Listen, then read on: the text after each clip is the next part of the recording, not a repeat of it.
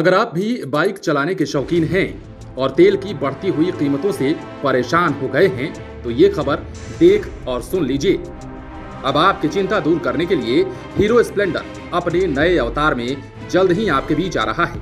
क्या इसकी खासियत है और कितना किलोमीटर चलने वाला है, सब बताएँगे और ये भी बताएँगे कि जहाँ 60-70 पर जनरल गाड़ियाँ दम तोड़ देती हैं तो वहीं इसके बारे में ऐसा क्यों कहा जा रहा है कि ये इलेक्ट्रिक बाइक 240 किलोमीटर की रेंज वाली बाइक है। ये सब कुछ हम आपको बताएँगे, लेकिन ये सब जानने के लिए आप हमारे साथ इस वीडियो के अंत तक बने रहें। दरअसल इलेक्ट्रिक टू व्हीलर्स की डिमांड भारत में तेज़ी से बढ़ रही है। अब तक रिवोल्ट टार्क साइबर्ग और ओबेन जैसे स्टार्टअप अपनी इलेक्ट्रिक बाइक्स बाज़ार में लॉन्च कर चुके हैं। ऐसे में चर्चा है कि देश की top two wheeler company Hero MotoCorp भी जल्द अपनी best seller bike Hero Splendor का इलेक्ट्रिक वेरिएंट बाज़ार में उतार सकती है। इलेक्ट्रिक टू व्हीलर्स की डिमांड भारत में तेज़ी से बढ़ रही है। अब तक रिवोल्ट टॉर्क साइबॉर्ग और ओबेन जैसे स्टार्टअप अपनी इलेक्ट्रिक बाइक्स बाज़ार में लॉन्च कर चुके हैं। ऐसे में चर्चा है कि देश की top two wheeler company Hero MotoCorp भी यही तर्ज पर अब एक नया काम करने जा रही है।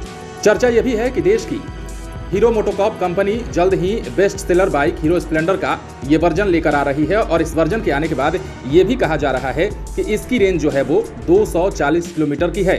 मतलब ये हुआ कि इस बाइक को चार्ज करने के बाद आपको 240 किलोमीटर तक सब कुछ भूल जाना होगा, यानी कि कोई टेंशन नहीं लेनी होगी।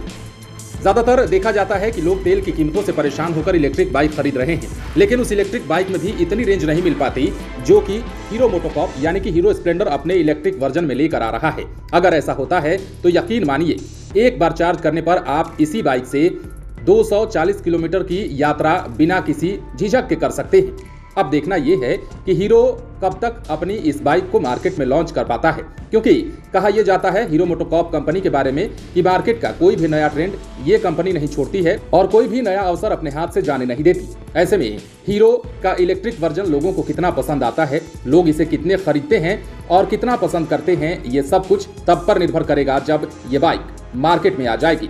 ऐसे में आपने देखा होगा कि बिहार में नहीं, पूरे भारत में हीरो स्प्लेंडर की खपत बहुत ज़्यादा है, यानी कि हीरो स्प्लेंडर की बिक्री और खरीद दोनों ही बहुत ज़्यादा होती है मार्केट में। यही कारण है कि हीरो स्प्लेंडर की बाइक जो है वो फ़र्स्ट सेलर कही जाती है इस कंपनी के लिए। अब ऐसे में टॉप सेलर इस बाइक का नया वर्जन मार्केट में जल्द ही आ रहा है। इंतज़ार करना है कि आपको और हमें कब तक ये 240 किलोमीटर की रेंज वाली बाइक मिल पाएगी।